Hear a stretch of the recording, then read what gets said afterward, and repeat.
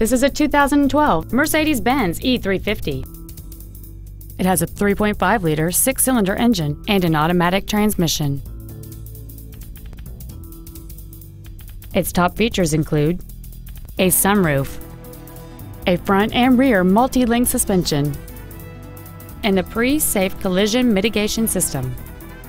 The following features are also included a low tire pressure indicator, memory settings for the seat's positions so you can recall your favorite alignment with the push of one button, cruise control, interior wood trim accents, a toolkit, front multi-stage airbags, a first aid kit, full power accessories, an engine immobilizer theft deterrent system, and this vehicle has fewer than 49,000 miles on the odometer.